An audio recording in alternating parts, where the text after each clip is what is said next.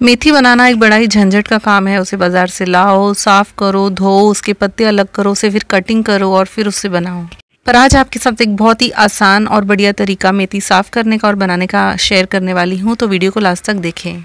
अगर आपको मेरे वीडियोस अच्छे लगे तो लाइक और सब्सक्राइब ज़रूर करें और मेरे इंस्टाग्राम अकाउंट को भी फॉलो करें।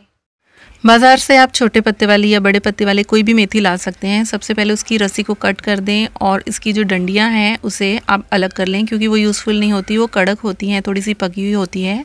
और उसे निकालने के बाद आप मेथी को बहुत ही आसानी से साफ़ करके पत्ते निकाल सकते हैं। अगर आपको सिर्फ़ पत्ते पत्ते की मेथी बनानी है, डंडी बिल्कुल नहीं यूज़ करनी है तो ये बहुत ही आसान तरीका है।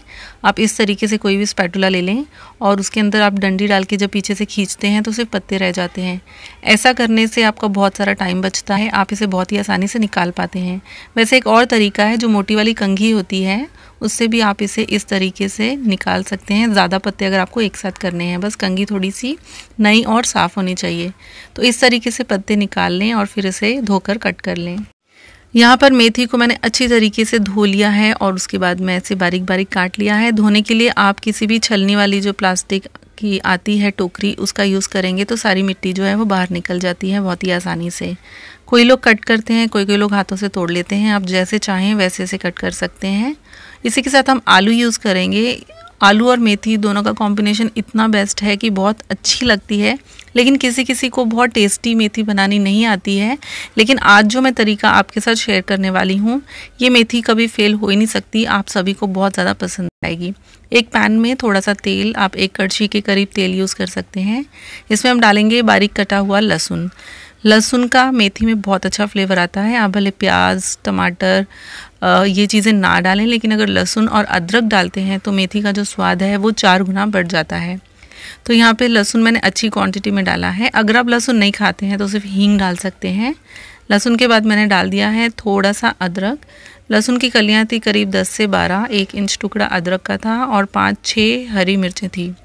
अब ये क्वांटिटी है एक गुच्छी मेथी के लिए जो स्टार्टिंग में आपने देखी। आप अब अपने हिसाब से कम ज़्यादा इसे कर सकते हैं। इस रेसिपी में मैं ना टमाटर यूज़ कर रही हूँ, ना ही प्याज यूज़ कर रही हूँ। बहुत ही ज़्यादा टेस्टी बनेगी। लेकिन क्योंकि मेथी बनाने के बाद बहुत कम सी हो जाती है, अगर आपको थोड़ी ज़्यादा क्वांटिटी करनी है तो आप इसमें एक प्याज या थोड़ा सा टमाटर ऐड कर सकते हैं। मैं आज कुछ भी ऐड नहीं कर रही हूँ। जब सारी चीज़ें ब्राउन हो जाती हैं, तब इसमें मैं डाल रही हूँ आलू और आलू को हम मीडियम साइज़ में कट करेंगे या फिर छोटे साइज़ में, क्योंकि मेथी तो बहुत जल्दी पक जाती है, आलूओं को टाइम लगता है। तो आप कोशिश करें कि जब आलू मेथी बना रहे हैं तो आलू के टुकड़े बहुत ज़्यादा बड़े ना हों। अब आलू ओपन रख के अगर आप पकाएँगे तो बहुत टाइम चले जाएगा और बहुत ड्राई भी हो जाएँगे। तो इसलिए हम क्या करेंगे मीडियम फ्लेम पर आलूओं को थोड़ी देर के लिए ढक देंगे। और फिर इस तरीके से एक बार हिला लेंगे। अगर आपको लगता है कि यहाँ पे 80 परसेंट आलू कुक हो गए हैं तो ठीक है। अगर नहीं हुए हैं तो मिक्स करने के बाद एक बार और ढक दें और फिर 80 परसेंट तक कुक होने तक इसे पका लें। 80 परसेंट इसलिए क्योंकि मेथी को पकने में जितना टाइम लगता है तो वो बची कुछ तो बचे आलूओं के टाइम में जो मेथी है हमारी आसानी से पक जाएगी, क्योंकि मेथी पकने में बहुत ही कम टाइम लगता है। अब 80 परसेंट कुक हो गए हैं, आलू यहाँ पे डालेंगे आधा चम्मच हल्दी। अगर किसी भी चीज़ की मेज़रमेंट नाप आपको समझ में नहीं आया है तो आप मुझे कमेंट करें। सभी की कमेंट का मैं जवाब ज़रूर देती हूँ। अब इसे मिक्स करेंगे हल्दी को और इसके बाद में यहाँ पे हम मेथी ऐड करेंगे। मेथी बिल्कुल ड्राई है। ड्राई मेथी बहुत अच्छी बनती है। यहाँ पे ढककर भी आप बना सकते हैं ओपन बना सकते हैं। फ़र्क सिर्फ़ इतना है कि जब आप ढककर बनाते हैं तो थोड़ी सी मॉइस्ट होता है उसमें मतलब थोड़ी थोड़ी गीली गीली होती है, लेकिन अगर आपको बिल्कुल ड्राई और क्रिस्पी पसंद है तो बिना ढक्कन के यहाँ पे पकाएँ। तो आपको जैसी पसंद है, उस हिसाब से आप ढक्कन या नहीं ढक्कन लगाना है, वो डिसाइड कर सकते हैं। इस सारे प्रोसेस में हमारी जो गैस की फ्लेम थी, वो मीडियम थी। मैंने इसे मिक्स कर लिया है। देखने में बहुत ज़्यादा लग रही थी मेथी, लेकिन जैसे ही मिक्स हो जाती है, हल्की सी पक जाती है तो एकदम सिकुड़ जाती है, एकदम कम लगने लगती है। तो अभी थोड़ी थोड़ी कच्ची है, इसे और पकाएँगे। अगर आप ढक्कन दे देते हैं तो जल्दी पक जाती है, क्रिस्पी रखनी है तो आप इसे ओपन ही रखें।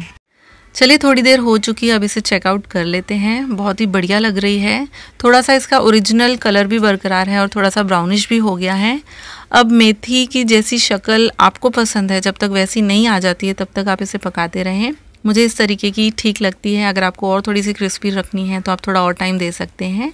अब सबसे लास्ट में इसमें नमक और गरम मसाला ऐड करेंगे। नमक बाद में इसलिए क्योंकि शुरुआत में मेथी देखने में बहुत ज़्यादा लग रही थी। अगर उस वक्त नमक डाल देते तो ऐसा लगता कि बहुत सारा नमक डालना पड़ता है। लेकिन जब ये सिकुड़ जाती है, तब हमें पता चलता है कि इसमें ज़्यादा नमक की ज़रूरत नहीं है। तो स्वाद अनुसार यहाँ पर नमक डालें। गरम मसाला में सिर्फ़ धनिया पाउडर, ज़ीरा पाउडर और काली मिर्च का पाउडर था। अब इसे मिक्स कर लेंगे और क्रिस्पी करना है तो गैस पे रहने दें ऐसे ही स्लो में, वरना आप इसे इसी तरीके से सर्व करें। खुशबू बहुत बढ़िया आ रही है इस वक्त घर पे, क्योंकि ये बहुत ही टेस्टी बनी है। जब आप इसे पराठे वगैरह के साथ या साइड डिश में यूज़ करते हैं तो बहुत ही अच्छी लगती है। और अगर बाई चांस बच ये सब्ज़ी अगले दिन बाई चांस वैसे तो बचेगी नहीं क्योंकि बड़ी ही टेस्टी बनी होगी, लेकिन अगर बच जाए तो इसे मैश करके इसके स्टफ़ पराठे भी आप बना सकते हैं, जो कि बहुत ज़्यादा बेहतरीन बनते हैं। तो ट्राई करें ज़रूर ये मज़ेदार रेसिपी आलू मेथी की। अगर आपको मेरी रेसिपी पसंद आई तो वीडियो को लाइक ज़रूर करें और चैनल को भी सब्सक्राइब करें।